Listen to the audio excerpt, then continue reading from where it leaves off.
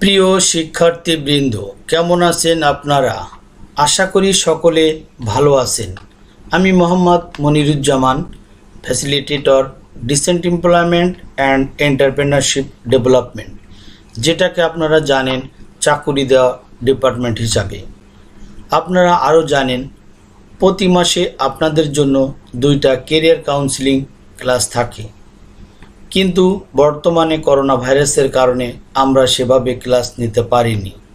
Corona ভাইরাসকে আমরা ভয় না পেয়ে স্বাস্থ্যবিধি মেনে চলব। বাহিরে বের হলে অবশ্যই মাস্ক ব্যবহার করব। সামাজিক দূরত্ব বজায় রাখব। সাবান, পানি দিয়ে বিশ সেকেন্ড সময় নিয়ে হাত ধোবো। কেরিয়ার কাউন্সিলিং ক্লাসে সকলকে স্বাগতম। আজকে যে বিষয়ের উপর ক্লাসটি হবে, সেটি হলো চাকুরিতে স্থায়িত্বের জন্য প্রেষণা motivation for sustainability in job কোনো কাজ ধৈর্য সহকারে চালিয়ে যাওয়া, নিজেকে ওই কাজে অভিজ্ঞ করে গড়ে তোলা এবং বারবার চাকুরি পরিবর্তন না করে একটি প্রতিষ্ঠানে দীর্ঘদিন মনোযোগ সহকারে কাজ করার মাধ্যমে চাকুরিতে স্থায়িত্ব বৃদ্ধি পায়। কোনো কাজ ধৈর্য সহকারে করা, নিজেকে ওই কাজে অভিজ্ঞ করে গড়ে তোলা এবং বারবার চাকরি পরিবর্তন না করে দীর্ঘদিন একটি প্রতিষ্ঠানে কাজ করার মাধ্যমে চাকুরিতে স্থায়িত্ব বৃদ্ধি করা যায়। চাকুরিতে স্থায়িত্বের ফলাফল। কর্মী লাভবান হয়। যদি চাকুরিতে স্থায়িত্ব হওয়া যায়, তাহলে কর্মী অনেক লাভবান হয়। দক্ষতা বৃদ্ধি পায়। একটি প্রতিষ্ঠানে দীর্ঘদিন চাকরি করলে কর্মীর দক্ষতা ও অভিজ্ঞতা বৃদ্ধি পায়।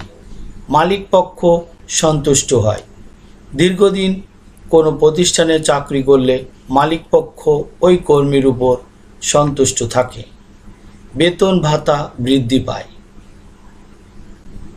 একটি প্রতিষ্ঠানে অনেক দিন ধরে চাকরি করলে প্রতি বছর নির্দিষ্ট পরিমাণ বেতন বৃদ্ধি পেয়ে এক সময় কর্মীর বেতন অনেক বেড়ে যায়।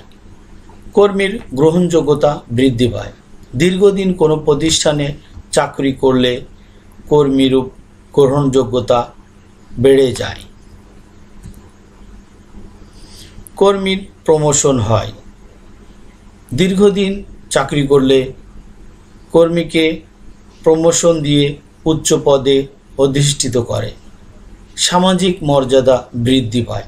চাকরি করলে সমাজে তার একটা সম্মান বেড়ে দেয় এবং মর্যাদাও বেড়ে যায়। এই বিষয়ে যদি কারোর আরও কোনো প্রশ্ন থাকে বা জানার থাকে, তাহলে অবশ্যই অবশ্যই আমাকে ফোন করবেন। এখানে আমার ফোন নম্বর দেওয়া আছে। সকলের সুস্বাস্থ্য এবং মঙ্গল কামনা করে এখানে শেষ করছি। আমি মোহাম্মদ মনিরুজ্জামান। সকলকে ধন্যবাদ।